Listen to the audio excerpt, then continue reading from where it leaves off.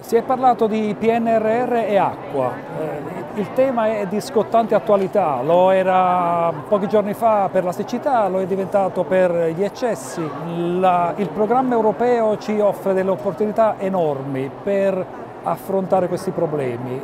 Io ho parlato di una parte che riguarda la ricerca, ci sono degli operatori che invece sono impegnati negli investimenti.